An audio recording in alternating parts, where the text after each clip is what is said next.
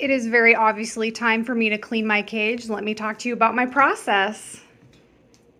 And the easiest way to get this kind of bedding out of here is you just roll it up like a sleeping bag. Shake it off in the trash can. I use diluted unscented Castile soap to clean the bottom. It's eco-friendly. This is where I shake it out again to save my washer dryer.